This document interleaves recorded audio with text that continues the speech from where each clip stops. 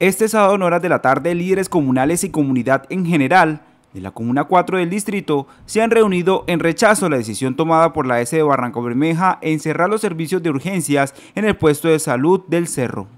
Ellos aseguran que tener esta área en este sector ha sido un beneficio debido a que algunas personas no tienen esa oportunidad de trasladarse hasta otros centros de salud. Prácticamente perjudicaría a toda la población de muy escasos recursos que no tienen ni siquiera ni para pagar un taxi, hay veces ni siquiera una moto para venir a una urgencia y, tienen que trasladarse a otros puestos de salud o a otras GPS donde la atención es muy, muy pésima. Parte de la veeduría han evidenciado que esta área de urgencia es fundamental debido a que durante el día reciben gran cantidad de pacientes. En las malas condiciones que se encuentra el, puesto de salud es obvio que pronto no van a querer venir acá, porque verdaderamente eh, lo tienen bastante en malas condiciones. Los puestos de salud y los hospitales deben estar en constantemente mantenimiento.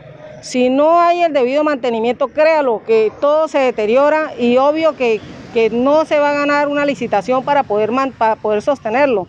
Sol María Zampayo Flores, presidente de Acción Comunal, expresan que se oponen a esta decisión que fue tomada por la empresa social del Estado. Nos oponemos totalmente a esa decisión porque en vez de optimizar los servicios, en vez de, eh, digamos, remodelar ese puesto de salud que está, es que se nos cae, no podemos quitar un servicio de urgencia que le sirve a toda la comunidad, a muchos corregimientos. Este puesto de salud con su área de urgencias tiene más de 40 años al servicio de la comunidad. Se tiene previsto para esta semana la suspensión de ese servicio en la Comuna 4 del distrito.